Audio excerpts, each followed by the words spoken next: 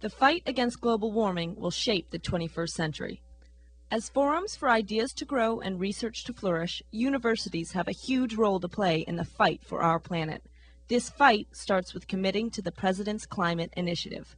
What is the PCI?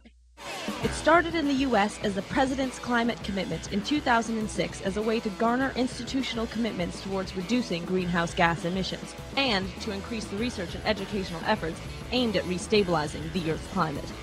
The commitment has attracted 613 signatories, including the presidents of the University of California, Berkeley, Duke University, and the University of Southern Mississippi. The commitment then came to Canada as the President's Climate Initiative. Different name, same concept. To date, the presidents of UBC and Simon Fraser have signed on. I know what you're thinking.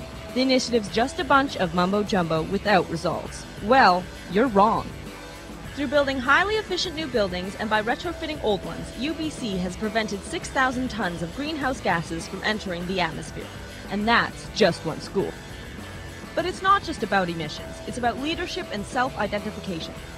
It's about showing the academic and political powers that your university is committed towards a better future.